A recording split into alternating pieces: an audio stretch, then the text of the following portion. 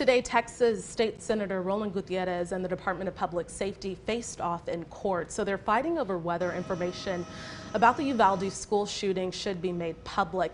As they continue, though, to investigate the law enforcement response, families are still in desperate need of support. And even with a lot of help that's pouring in from across the country, some more help is on the way. Austin FC's goalkeeper Brad Stuver, thank you so much for being here and joining us in the studio right now.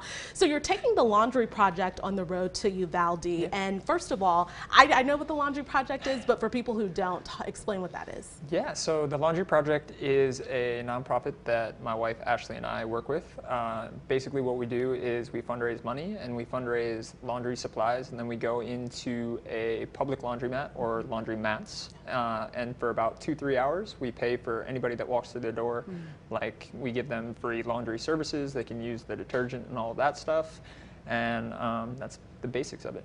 And Brad, for you, what led up to you all bringing the laundry project to Uvalde?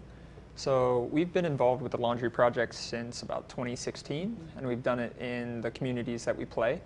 Um, when the tragic school shooting happened earlier in the year, I think everybody went into brainstorming mode about how can we help the Uvalde community. Um, like the Los Verdes supporters groups started a GoFundMe. They've raised over 200 and I think it's like $70,000. Wow.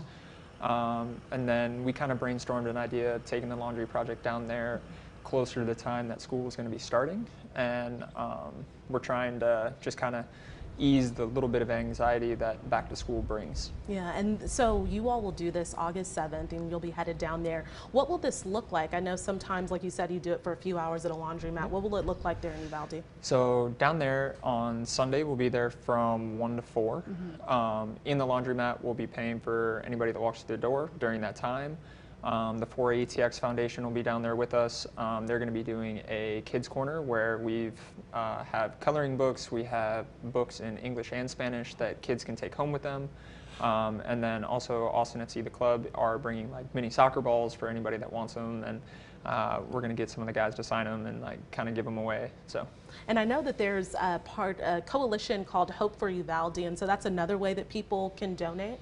Yeah. So right now. Uh, the, the project is funded by itself mm-hmm. and it's mm-hmm. all ready to go.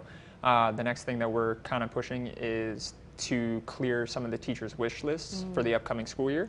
Um, and if you want to get involved with that, there's a Linktree link in mm-hmm. my Instagram and Twitter, and the club also has it, and that'll take you to like the list of teachers that are looking to get uh, school supplies for the upcoming year. Okay, and you know, uh, when I worked weekends, it seemed like we were covering a laundry project event every weekend. it's like you, you all were doing it a lot, and you told me since 2016, since you were in Ohio, you've been involved in this.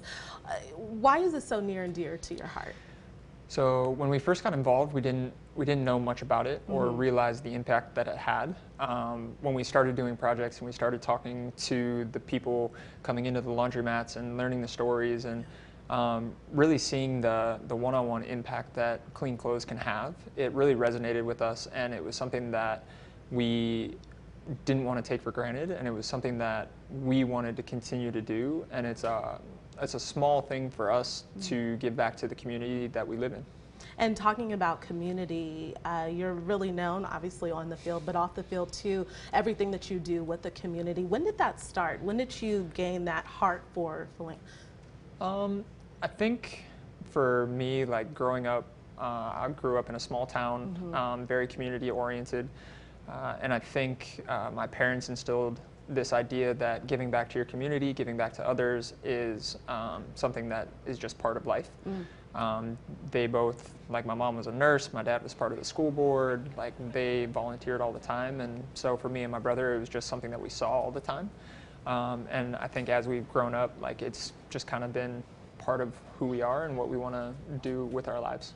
Okay, so August 7th, you'll be yeah. headed down there. People still want to donate. Do they have a chance to do that? Yeah, they can donate, um, but we're going to push everybody to the wish list okay. for the, the school teachers because uh, right now the project's all ready and set wow. to go. and uh, we want to focus on clearing those uh, school supplies. Absolutely, and we have that link on our website yeah. at kxan.com. Brad, thank you so much. Yeah, thanks for having me.